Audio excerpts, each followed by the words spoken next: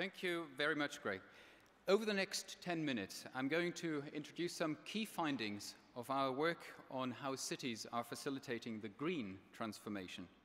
It's based uh, on a survey, a global survey, which we conducted at LSE Cities with my colleague Graham Floater over the last 12 months, where we inquired about 90 cities about their transition efforts.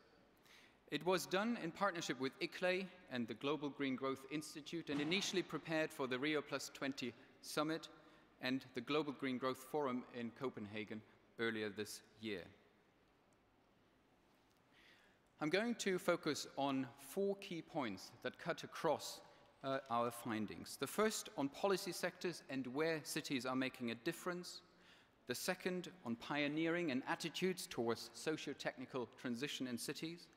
Third, on collaboration and the importance for accelerating the green transition. And finally, placemaking, the role of spatial planning and infrastructure investments. Before a quick introduction to the survey, what we did here is surveyed the 90 cities I referred to. You see them here on the world map. It's covering quite a bit in terms of geography and cultural context. Uh, there we approached formally city governments to give us an official response to a questionnaire. And in addition, we went deep into nine, eight cities, the ones in capital letters, including London, Copenhagen, but also Durban, Belo Horizonte, and Hong Kong.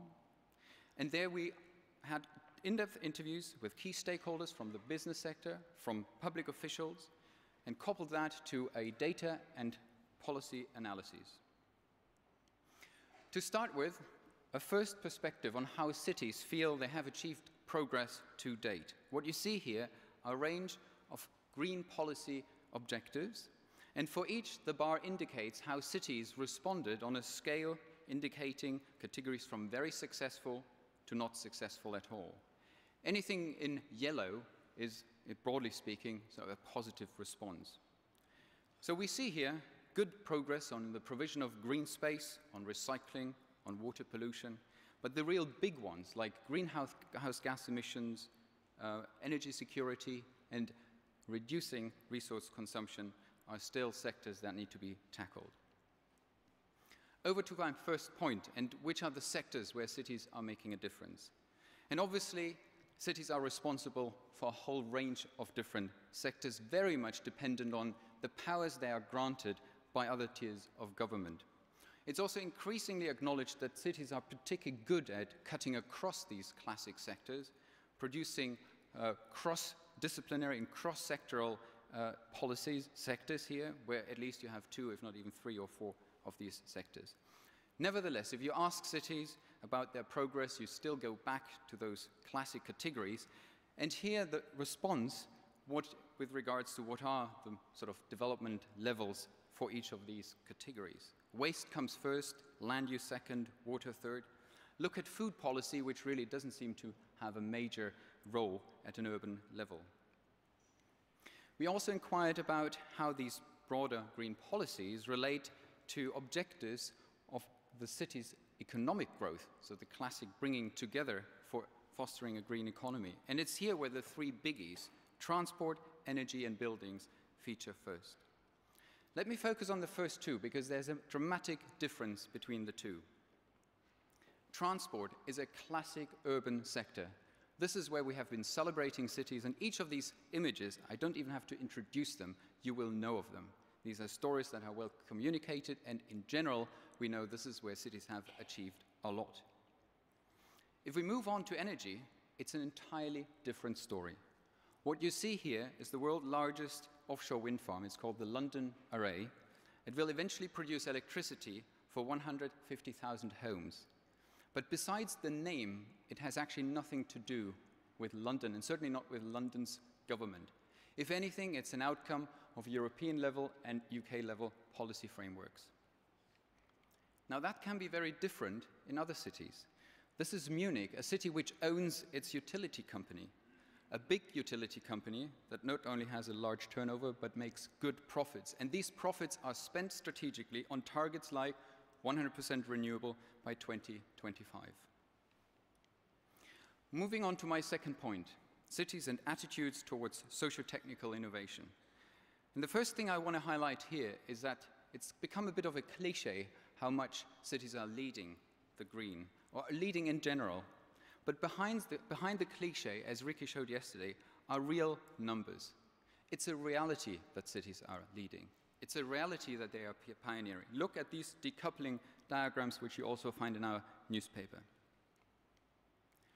We then ask about the general attitude towards green innovation and investment. It was surprising to see that only a quarter of cities are either extremely conservative or don't have a real attitude. About half, about half of the cities are innovative but constrained by budgets, and almost 30% regard themselves as highly innovative and even experimental. Looking at how new technologies uh, are featured across sectors and where cities stress the bringing in of technologies uh, as uh, really a key feature, it's again transport, energy, and buildings that come first. And zooming in and asking cities, okay, fair enough, but what's behind the technology in each of these sectors? What comes first? That is the answer. In transport, intelligent traffic management. In energy, it's distributed energy generation in buildings, building control systems. My third point, and that's the crucial one on one of the key assets cities have, which is to foster the transition through collaboration. It was a big surprise for us to see when we asked about the triggers of green policy that public opinion comes first and then immediately followed uh, by political leadership change. In a way, speaking in the context of this conference, it's a bit like Adam Greenfield coming together with Enrique Peñalosa. And that's a unique energy which cities can exploit. And in addition to that, and that's also something we were able to show through our in-depth analysis, cities are indeed able to very well navigate through engaging a whole range of key stakeholders. And again, community groups and the general public come first. That was probably one of the most important surprises. But all of that is not enough if we really want to accelerate the change. It became absolutely clear that policy frameworks at other levels of government, in particular the national, still matter enormously, and they need to be in sync with what your city tries to achieve. This is Berlin, and Berlin's electric mobility initiative is one of these examples where pioneering is really cutting edge at the very moment. But it's only able to be cutting edge because it's in the broader framework, it sits within that framework of the German energy transition. Without it, it would not work. What's currently happening in Berlin is something I think we should all watch.